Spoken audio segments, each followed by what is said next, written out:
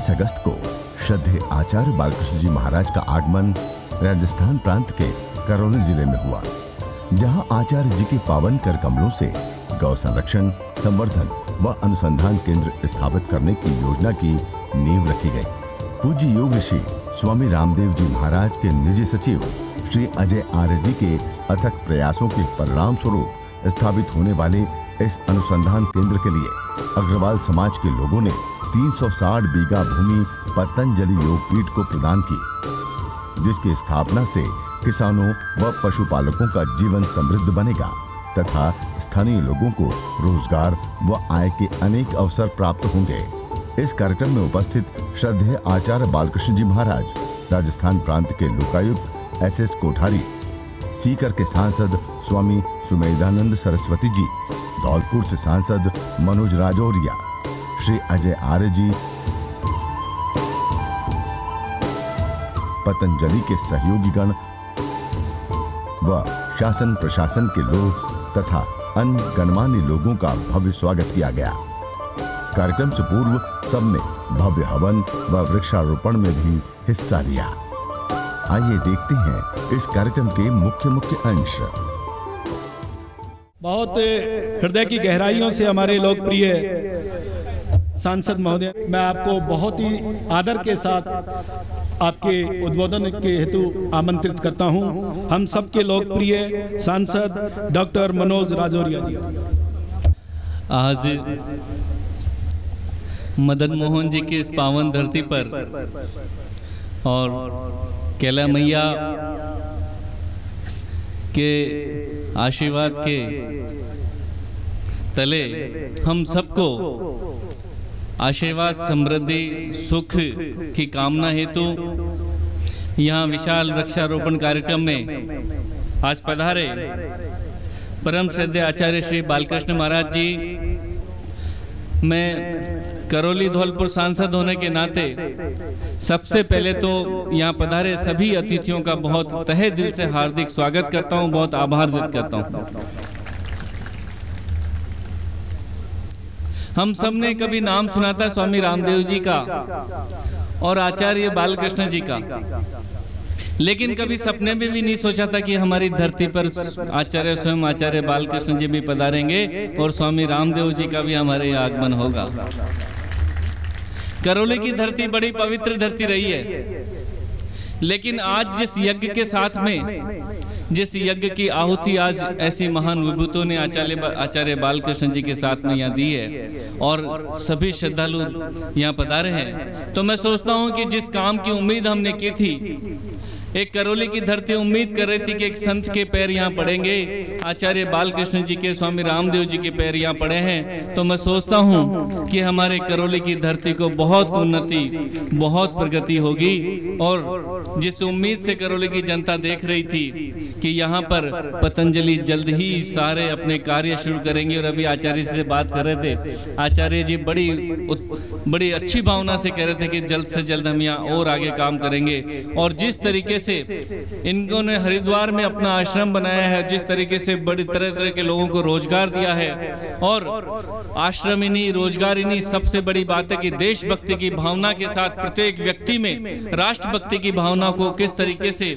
जागृत किया जा सकता है, ये काम किसी से सीखा जा सकता है तो मैं सोचता हूँ इनसे सीखा जा सकता है। जिस तरीके से पूरे देश में भ्रष्टाचार के खिलाफ स्वामी रामदेव जी ने, आचार्य बालकृष्ण जी ने और इनकी पूरी टीम ने पूरे देश में एक मुहिम चलाई थी और उस मुहिम से भ्रष्टाचारी सरकार को काट फेंक कर नरेंद्र मोदी की सरकार को स्थापना करने में महत्वपूर्ण योगदान किसी ने दिया था तो आज वो सभी महानुभाव आज हमारे बीच में यहाँ विराजमान है। ऐसी शख्सियत उनके परिवार के सभी सहयोगियों को भी मैं आभार व्यक्त करता हूँ। और उनकी जो कार्य शक्ति है उनकी जो टीम है उनका मार्गदर्शन और राष्ट्र प्रेम है। मैं सोचता हूँ कि आज करौली की धरती पर उसका हमको लाभ मिलेगा। और करौली की नहीं आसपास के दौसा सवाई माधोपुर धौलपुर भरतपुर के किसानों को और आम जन को भी यहाँ का बहुत लाभ मिलेगा। ऐसा ज़बरदस्त दृष्टिकोण ऐसा ज़बरदस्त विजन स्वामी रामदेव जी का हमने देखा है। आचार्य जी मैं आपका बहुत तहे दिल से स्वागत करता हूँ। मेरे पास शब्द कम है। अगली बार जब आप कार्यक्रम करेंगे तो मैं करौली की हज़ारों हज़ारों, लाखों की जनता आपका स्वागत करेगी। और ये विश्वास दिलाता हूँ कि हम पूरी करौली और आसपास के सभी जिलों की जनता पतंजलि के साथ में कंधे से कंधा मिलाकर राष्ट्रभक्त के निर्माण में, राष्ट्र निर्माण में जो आप सहयोग कर रहे हैं, हम भी आपके साथ में राष्ट्र निर्माण में आगे बढ़ेंगे। और आशा करते हैं कि आपका प्यार, आपका आशीर्वाद हमारी करौली की जनता को हमेशा मिलता रहेगा और आपके सानिध्य में कवि करौली की धरती और पवित्र बनेगी और समृद्ध बनेगी और उन्नतिशील बनेगी और करौली का नाम पूरे देश में नहीं विदेशों में ही आपके नेतृत्व में रोशन होगा। आप पधारे आपका तहे दिल से आभार व्यक्त करता हूँ। बहुत बहुत धन्यवाद देता हूँ। जय हिंद जय भारत।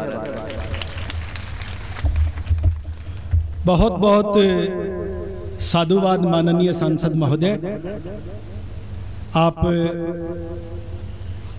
युवा हैं जन जन के लोकप्रिय हैं, आपके भीतर बहुत ऊर्जा है और निश्चित रूप से यह ऊर्जा करौली धौलपुर के विकास के काम आए, ऐसी मेरी मनोकामना है।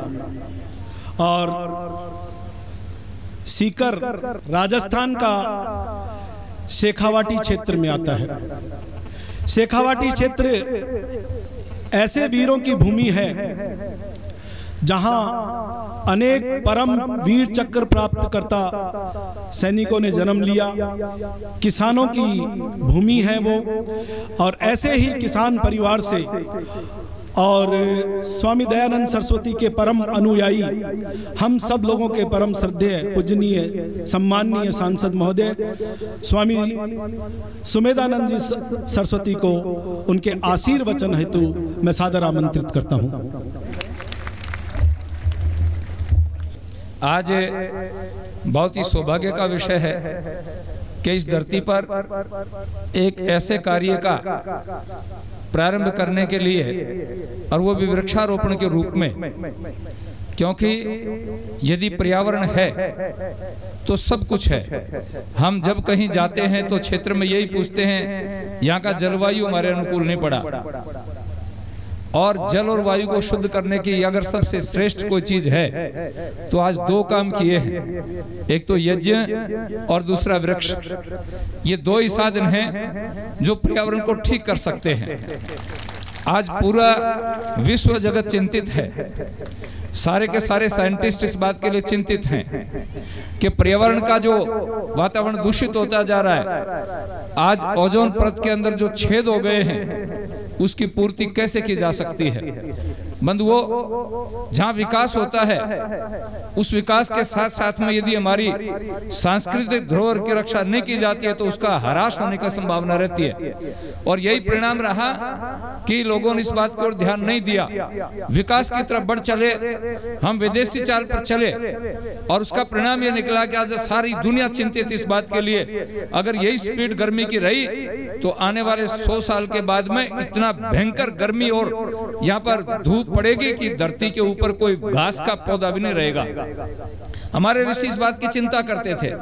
श्रद्धेय स्वामी रामदेव जी इस बात की चिंता करते हैं। इसलिए उन्होंने भारतीय संस्कृति की रक्षा के लिए कई बार लोग हमसे पूछते हैं। मेरे से पूछते हैं साहब बाबा जी को व्यापार करने की ज़रूरत क्या है? मैं उनसे एक बात कहता हूँ स्वामी जी व्यापार नहीं कर रहे। व्यापार करता है आदमी अपने बच्चों के लिए। व्यापार करता अपने परिवार के लिए। स्वामी जी के पास जो भी पैसा पतंजलि से आता है, बंधु अभी आपने समाचार पत्रों में पढ़ा होगा। माननीय प्रधानमंत्री नरेंद्र मोदी हरिद्वार गए और आयुर्वेद के ऊपर सारे भारत में कोई भी रिसर्च सेंटर नहीं था। सैकड़ों करोड़ रुपए लगा करके एक रिसर्च सेंटर बनाया गया है। मुझे याद है आज से तीस साल पहले अगर किसी एलोपैथी डॉक्टर के पास हम जाते थे और आयुर्वेद की बात करते थे तो उसको दवाई को फेंक देता है पता नहीं कहाँ से राख की पुड़िया उठा करके लायो लेकिन आज जितने भी हॉस्पिटल हैं सब में डायटिशियन बिठा दिए गए पहले एलोपैथी डॉक्टर के पास जाते थे, दवाई लेने के लिए पूछते थे हमें क्या खाना है? तो कहते थे, कुछ भी खाओ। लेकिन आज सबसे पहले हमारी डाइट क्या हो, इसके लिए स्पेशलिस्ट बिठा रखे तो ये आयुर्वेद का झंडा, वैदिक संस्कृति का झंडा और योग का झंडा पूरे विश्व में बुलंद करने वाले हमारे बीच में श्रद्धे आचार्य बालकृष्ण और स्वामी रामदेव जैसे व्यक्तित्व हैं।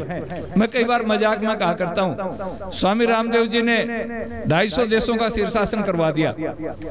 आपने देखा होगा भी योग दिवस के अवसर पर कितने लोगों ने आज अमेरिका शीर्षासन कर रहा है, रसिया शीर्षासन कर रहा है, चाइना शीर्षासन कर रहा है। एक साधु ने अपनी ऋषियों की परंपरा को स्थापित करते हुए और पूरी दुनिया के अंदर आज योग, वेद, आयुर्वेद और भारतीय संस्कृति का डंका बजाया है। और बंधुओं, हम भाषणों में तो कहा करते थे कि स्वदेशी अपनाओ। लेकिन जब तक विकल्प प्राप्त नहीं होता है, तब तक आदमी कैसे अपनाएगा? इसलिए स्वामी जी ने बड़ी बड़ी कंपनियों के मुकाबले में स्वदेशी चीज़ें उपस्थित कर दी और आज वो लोग अपनी चीज़ बनाते हैं। मैं कई कई बड़ी बड़ी कंपनियों के मालिकों को जानता हूँ। वो मार्केट में सामान बेचते हैं, लेकिन उनके घर में, उनके रसोई में जाकर के आप देखेंगे तो वहाँ स्वामी रामदेव जी का सामान मिलेगा। तो ऐसे महामनुष्यों ने इस करौली की धरती पर अपने चरण रखे हैं। मैं समझता हूँ न केवल करौली, बल्कि पूरे राजस्थान का भाग्योदय होगा। इस अवसर पर मैं श्रद्धे आचार्य जी का स्वागत करता हूँ, अभिवादन करता हूँ कि उन्होंने और पूज्य स्वामी रामदेव जी महाराज ने राजस्थान की धरती को भी अपना कार्य क्षेत्र बनाया है। वैसे स्वामी जी आचार्य जी के बारे में अभी कह रहा था। आचार्य जी ने केवल आयुर्वेद के ज्ञाता है। सन तिरानवे की बात है यहाँ बैठे हैं अपने इंडोन वाले प्रभाकर जी और कई लोग बैठे हैं। यहाँ इंडोन में आर्य समाज का उत्सव था 93 की बात है तिरानवे की। मेरा इक्यानवे में एक्सीडेंट हो गया था। और मेरा इतना भयंकर पीड़ा थी, मैं जयपुर से आजकल की तरह से गाड़ियाँ थी नहीं, हम जीप में चलते थे। तो जीप में बैठ करके मैं आया, मुझे इतनी पीड़ा हो गई कि मैं मंच पर नहीं बैठ सकता था, मैं आर्य प्रतिनिधि राजस्थान का प्रधान होता था। तो मैं लेटा हुआ था, आचार्य जी आए, इन्होंने योग का कैंप लगाया था यहाँ पर। तिरानवे की बात बता रहा हूँ आपको। आज से 24 साल पहले। तो आचार्य जी ने कहा, स्वामी जी, कैसे लेटे हुए हो? मैंने कहा, आचार्य जी, बैठ नहीं सकता, मुझे दर्द है। बंद वो पंद्रह मिनट के एक्यूप्रेशर में आचार्य जी ने मुझे दो घंटे मंच पर बिठा दिया। ये करिश्माई व्यक्तित्व हैं। और मेरा तो इनका गुरुकुल में पढ़ते थे तभी से। संपर्क रहा श्रद्धे स्वामी जी महाराज और आचार्य जी का। तभी से मैं जानता हूँ कि कितने प्रतिभाशाली व्यक्तित्व धनी है। मैं अधिक समय नहीं लेता हुआ। मैं करौली वासियों का, जिन भाइयों ने, अग्रवाल समाज के जिन बंधुओं ने, ये भूमि दान दी है। मैं उनका बहुत बहुत आभार व्यक्त करता हूँ। कई बार कुछ लोगों को अटपटा सा लगा होगा। लेकिन जब यहाँ विकास की गंगा बहेगी यहाँ विद्या की गंगा बहेगी यहाँ गाय रंभाएँगी या और उद्योग जगत के कई काम होंगे, उससे किसान, मजदूर और व्यापारी सभी को बहुत बड़ा लाभ होगा। मैं अग्रवाल समाज के लोगों का सबसे अधिक धन्यवाद करना चाहूँगा कि आपकी बदौलत ही आचार्य जी के चरण यहाँ पड़े हैं। परमात्मा करे कि आपका समाज फले फूले और हमेशा समृद्ध हो। धन्यवाद। ओम शांति। जय भारत।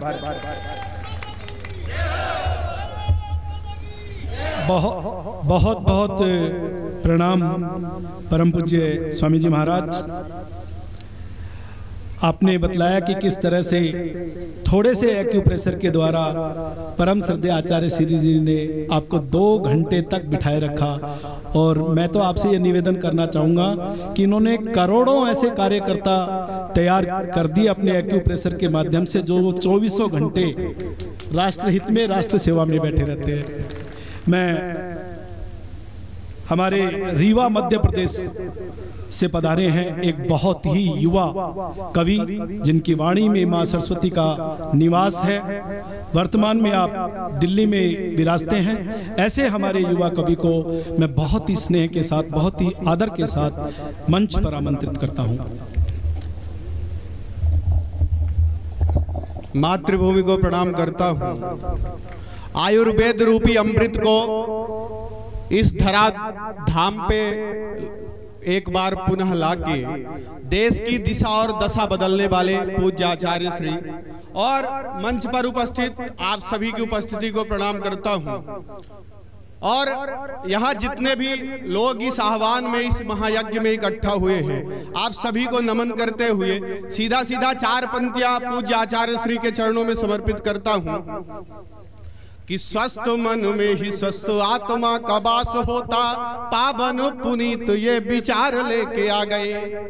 आज महाराज श्री यहाँ क्यों आए हैं? ये भाव आप तक जोड़ना चाहता हूँ कि स्वस्थ मन में ही स्वस्थ आत्मा का वास होता, पावन पुनीत ये विचार लेके आ गए। करने समस्या का निदान देखिए स्वयं, करने समस्या का निदान देखिए स्वयं। भारतीय पद्धति का सार लेके आ गए। तो जीवन फंसा हुआ था, जीवन फंसा हुआ था रोग और व्याधियों में, कि जीवन फंसा हुआ था रोग और व्याधियों में, जीवन फंसा हुआ था रोग और व्याधियों में, पुरुषार्थ द्वारा इस पार लेके आ गए, और आप पे गई जो दृष्टि, आप पे गई जो दृष्टि तो लगा कि जैसे प्रभु धनवंतरी ही अवतार लेके आ गए। और समय का भाव है। मैं चार पंक्तियाँ उस भाव को, एक ऐसा संकल्प जिस संकल्प के कारण इस देश की दिशा और दशा बदल गई। हम सब, हमारा सबका आत्म स्वाभिमान पुनः जागृत हो गया। मैं चार पंक्तियाँ उस महायज्ञ के नाम करता हूँ। कि प्रेम भाईचारे से बुराइयाँ मिटेंगी और बेहिसाब खुशी छोटी छोटी मिल जाएगी। साथ मिल के चलो तो उलझने मिटे तमाम। पल में सफलता की चोटी मिल जाएगी। आप भी स्वदेशी वाला भाव अपनाइए तो संस्कार की झलक मोटी मिल जाएगी। आप भी स्वदेशी वाला भाव अपनाइए तो संस्कार की झलक मोटी मिल जाएगी। खुद की जरूरतें भी पूरी होंगी साथ साथ। जाने कितने घरों को रोटी मिल जाएगी। बहुत बहुत देखिए, पूरे राजस्थान का प्रतिनिधित्व करने वाले कार्यकर्ता बैठे हैं। हमारे भाई राधाकांत का अभिनंदन बहुत जोरदार होना चाहिए। और अगले जो कवि मैं बुला रहा हूँ भाई मनवीर मधुर जो कि मथुरा से हैं जिनकी वाणी मथुरा के पेड़ों की भांति मीठी है जो मन के वीर हैं तेजस्वी हैं ओजस्वी हैं और इतना आनंद में ही हैं कि एक एक श्रोता के कानों में मिश्री घोल देने वाले ऐसे मनवीर मधुर को मैं सादर आमंत्रित करता हूँ। आप सबकी उपस्थिति को प्रणाम करता हूँ। परम पूज्य आचार्य जी के सादर चरण स्पर्श और तमाम महत्वपूर्ण जो अतिथि हमारे आए हुए हैं उन सबको प्रणाम। हमारे अभी सांसद महोदय जी ने बताया था कि ऐसा ऐसा हुआ। मैंने उस समय लिखा था। एक संत जब तय कर लेता है प्रण कर लेता है तो प्रकृति को भी झुकना पड़ता है उसे सच करने के लिए। उस समय मैंने कहा था जो महाराज श्री ने एक प्रण लिया था कि नौ माह जिएँगे कर्म योग कुछ करके दिखलाएँगे हम। नौ माह जिएँगे कर्म योग कुछ करके दिखलाएँगे हम। सत्ता परिवर्तन किए बिना हरिद्वार नहीं जाएँगे। और वो सच साबित हुआ। योग पूरे विश्व में फैलाया। सत्ता परिवर्तन हुआ। अब शिक्षा परिवर्तन की बारी है। और जो पीछे जो प्रमुख धुरी के रूप में खड़े रहते हैं, वो हमारे परम पूज्य आचार्य बालकृष्ण जी महाराज जो यहाँ उपस्थित हैं। मैं तो पंद्रह वर्ष पहले यहाँ करौली नगर पालिका के कवि सम्मेलन में आया था। इतना बढ़िया सुना के गया कि बाद में उन्होंने तय कर लिया कि अब नहीं बुलाना। तो पिछले वर्ष हमारे अजय आर्य बाबू जी ने आदेश दिया तो मैं आ नहीं पाया। आज आया हूँ, लेकिन एक बात कहता हूँ, अहंकार सत्ता में बैठे हुए किसी व्यक्ति को होना नहीं चाहिए। अहंकार जब होता है, मैंने तब कहा था, आज फिर बोल रहा हूँ, ये संत परंपरा, ऋषि परंपरा, ये देश ऋषि परंपरा को जीने वाला देश है। और जो कुछ हो रहा है, मैं केवल इतना सा कहना चाहता हूँ कि होंगे वे बादशाह अपने पद का गुमान सर पर रखें। और करौली वालों, आप संत के सामने हैं अगर मेरी अगली पंक्ति ठक से लग जाए आपके दिमाग दिल पर तो एक बार तालियों का हुजूम होना चाहिए। होंगे वे बादशाह अपने पद का गुमान सर पर रखें। लेकिन हम हैं अखड़ फकीर सिंहासन ठोकर पर रखें। लेकिन हम हैं अखड़ फकीर। सिंहासन ठोकर पर रखें। इस अहंकार की चादर का विन्यास बदल भी सकते हैं। हमने अगर अंगड़ाई ले ली, इतिहास बदल भी सकते हैं। कोई कितना ताकतवर हो, पर अंदर से हिल जाता है। जो मिट्टी से नफरत करता, वह मिट्टी में मिल जाता है। मैं चार पंक्तियाँ पूज्य आचार्य जी के लिए समर्पित कर रहा हूँ। आप तालियों के साथ अभिवादन कर सकते हैं। मैं क्या सोचता हूँ, मेरे छोटे भाई राधाकांत पांडे ने बहुत अच्छा लिखा, लेकिन मैंने क्या सोचा है, मैं चार पंक्तियाँ समर्पित कर रहा हूँ, मैं निवेदन करता हूँ। और ये महत्वपूर्ण इसलिए भी है, सबसे महत्वपूर्ण बात है कि महाराज जी जो प्रण कर लेते हैं, उसके पीछे जो पूरी ताकत के साथ खड़े रहते हैं, अंगद की तरह पैर जमाकर, वो आचार्य श्री हैं जिनकी वजह से महाराज श्री इतने बड़े बड़े काम कर जाते हैं। मैं चार पंक्तियाँ पढ़ रहा हूँ, सुनना, और एक एक शब्द, एक एक पंक्ति अगर आपके दिल तक पहुँच जाए तो मुझे बताइए। कि दाव पे लगा दिया समस्त राष्ट्र के निमित्त। तीर से फकीर की कमान बाल कृष्ण जी। दाव पे लगा दिया समस्त राष्ट्र के निमित्त। तीर से फकीर की कमान बाल कृष्ण जी। सुश्रुत चरक धनवंतरी पतंजलि से ऋषियों पे करते गुमान बाल कृष्ण जी। सुश्रुत चरक धनवंतरी पतंजलि से ऋषियों पे करते गुमान बाल कृष्ण जी। कि अभियंता लेखक या कहूँ आयुर्वेदाचार्य अभियंता लेखक या कहूँ आयुर्वेदाचार्य रखते अकूत दिव्य ज्ञान बाल कृष्ण जी। और करौली वालों सबकी तालियाँ आसमान में लहर जाएँ। अगली पंक्ति में उपमा दे रहा हूँ ठीक लगेगी मुझे पता है। तो आपकी तालियों से मैं देखना चाहता हूँ कि शुद्ध अभियंता लेखक या कहूँ आयुर्वेदाचार्य रखते अकूत दिव्य ज्ञान बाल कृष्ण जी। मोह में दिखा दी माँ को जिसने समस्त सृष्टि ऐसे बाल कृष्ण के समान बाल कृष्ण जी। कि मोह में दिखा दी माँ को जिसने समस्त सृष्टि, उनको एक धारा में मैं बाँध नहीं पाता। आप पतंजलि आइए तो आपकी समझ में आएगा कि कितने बड़े अभियंता हैं। उनकी पुस्तकें पढ़िए तो समझ में आएगा कितने बड़े लेखक हैं। और आयुर्वेदाचार्य के बारे में तो मैं टिप्पणी क्या करूँ? बहुत सारे ऐसे स्वरूप भी हैं जिन्हें मैं भी नहीं जानता। जब जब देखता हूँ तो आश्चर्य में होता हूँ। लेकिन मैं चार पंक्तियाँ महाराज श्री को भी समर्पित करना चाहता हूँ, जिनका आशीर्वाद आज यहाँ है, जिनकी वजह से आचार्य जी आज यहाँ पर है। मैं चार पंक्तियाँ निवेदन करता हूँ, सुनना। कि दो दिलों में योग जो कराते हैं, सिखाते और झुमाते, एक ऐसे स्वर साज रामदेव जी। दो दिलों में योग जो कराते हैं, सिखाते और झुमाते, एक ऐसे स्वर साज रामदेव जी। रोग और भोग के भंवर से कराते पार जीवन के स्वास्थ्य के जहाज़ रामदेव जी। रोग और भोग के भंवर से कराते पार, जीवन के स्वास्थ्य के जहाज़ रामदेव जी, कि घोर नफरत में भी, घोर नफरत के भी दौर में दमकता जो मानवीयता का एक ताज रामदेव जी, घोर नफरत के भी दौर में दमकता जो मानवीयता का एक ताज रामदेव जी, योगेश्वर कृष्ण से चली थी जो परंपरा, उसी का वर्तमान योगी राज रामदेव जी। जय हिंद।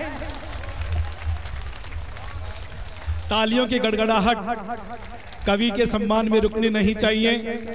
मैं ऐसे महान कवि पर कोई टिप्पणी तो नहीं कर सकता। मैं ऐसे महान कवि पर कोई टिप्पणी तो नहीं कर सकता। लेकिन मनवीर के मन में बैठे इस महाकवि को पूरे उपस्थित समस्त कार्यकर्ताओं की ओर से, मंच की ओर से प्रणाम करता हूँ। उनको साधुवाद देता हूँ। और ऐसी तेजस्वी वाणी ऐसी ओजस्वी वाणी जो हम सबके भीतर ऊर्जा का संचार करती है। ऐसे ही एक और कवि मुझे तो अब भी पता चला कि आप ब्रह्मचारी भी हैं। और महाराज जी ने ऐसे ही पकड़े हैं। ये जिनको आपने पहले सुना है वो भी ब्रह्मचारी है। तो ऐसे ब्रह्मचारी कवि गजेंद्र सिंह सोलंकी, जो कि दिल्ली से पधारे हैं, अंतर्राष्ट्रीय कवि हैं 25 वर्षों से काव्य पाठ कर रहे हैं। और हमारा कोई भी आंदोलन हो, चाहे 4 जून 2011 का रहा हो या कहीं पर भी, चाहे हरिद्वार में, जहाँ भी हम लोग एकत्रित हुए हैं, हमारा ये सौभाग्य रहा है कि आपके मधुर काव्य को हम सुन पाए, आपके ओजस्वी वाणी को हम सुन पाए। बहुत ही सम्मान के साथ, ऐसे मेरे प्रिय भाई गजेंद्र सोलंकी को मैं सादर आमंत्रित करता हूँ।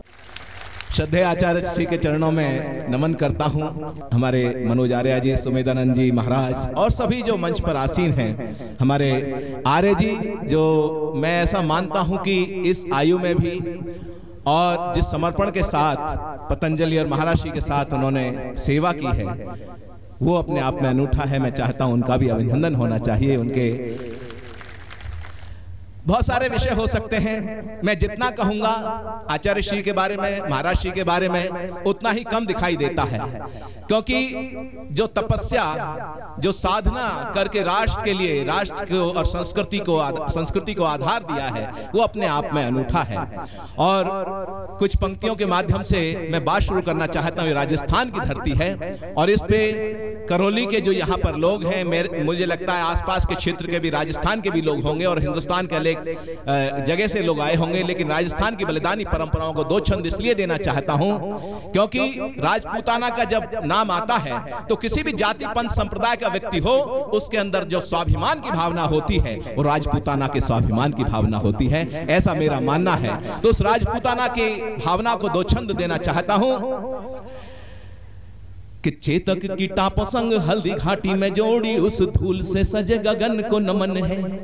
कि चेतक की टाप संग हल्दी घाटी में जोड़ी, उस धूल से सजे गगन को नमन है। और धर्म, संस्कृति, स्वाभिमान हेतु किए गए शूरता के पावन हवन को नमन है। तो हिंदुस्तानियों के हृदय में जो धड़क रही, राजस्थान वाली उस गगन को नमन है। और जिसने हल्दी घाटी से दिल्ली तक को तपाया, राणा जी प्रताप की तपन को नमन है जी।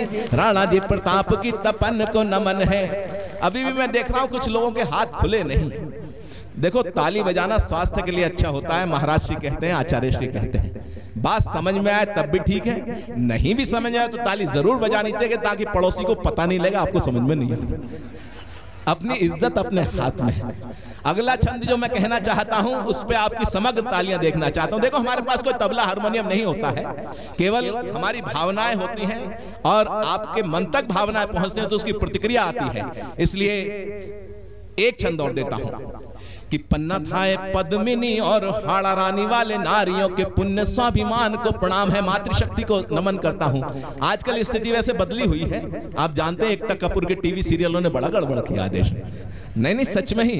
वो परीक्षा में प्रश्न आ गया कि भगवान राम जी को तो चौदह साल का वनवास हुआ था उनको तो जाना था। लेकिन सीता जी साथ में क्यों गई? तो एक लड़की जो एकता कपूर के टीवी सीरियल देखती थी उसने लिखा कि सीता जी के वनवास जाने में बहुत बड़ी सीख है। अगर घर में तीन तीन सास हो तो फिर जंगल ही ठीक है।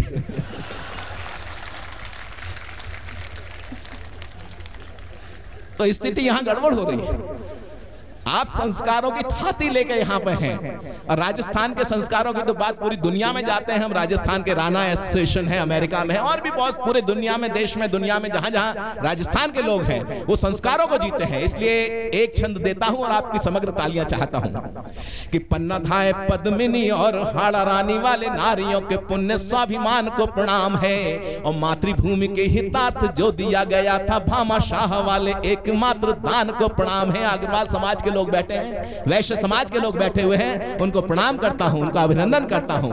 कहा जाता है, देशभक्त बनिए। लेकिन वो तो बने बनाए हैं। इसलिए आपको प्रणाम करता हूँ कि पन्ना धाय पद्मिनी और हाड़ा रानी वाले नारियों के पुण्य स्वाभिमान को प्रणाम है और मातृभूमि के हितार्थ जो दिया गया था भामा शाह वाले एकमात्र दान को प्रणाम है। तो घास वाली रोटियों को खा के भूमि पर सोए प्रभु एक लिंग के दीवान को प्रणाम है और शूरता और वीरता पराक्रम के पर आए आन बान वाले राजस्थान को प्रणाम है जी। आन बान वाले राजस्थान को प्रणाम है जी, आन बान वाले राजस्थान को प्रणाम है। कभी परमाणु बम गौरी से डराता हमें अकड़ दिखाता, पल में ही मुड़ जाएगा। कि कभी परमाणु बम गौरी से डराता हमें अकड़ दिखाता, पल में ही मुड़ जाएगा। और नाग पृथ्वी त्रिशूल अग्नि न जाना भूल, हाइड्रोजन बॉम्ब का भी फ्यूज जुड़ जाएगा। तो आकाओं के दम पे तो गुब्बारे से भूलता है। बड़े पहले अमेरिका आका था, अब चाइना उसका आका हो रखा है कि आकाओं के दम पे अगर पंक्ति पहुँच जाए तो मुझे पता चलना चाहिए कि देशभक्तों की सभा है कि आकाओं के दम पे तो गुब्बारे से फूलता है। पड़ेगी जो मार क्षण में सिकुड़ जाएगा और सवा सौ करोड़ फूक मार देंगे। एक बार आंधियाँ चलेंगी, सारा पाक उड़ जाएगा जी। भारत माता की, भारत माता की, वंदे वंदे। बहुत बहुत धन्यवाद, बहुत बहुत बधाइयाँ मेरी। और ये कहीं ना कहीं प्रकल्प पूरे क्षेत्र को सुगंधित करे, इसी भावना के साथ आपको प्रणाम करता हूँ, वाणी को रामदेव जय भारत, जय हिंद।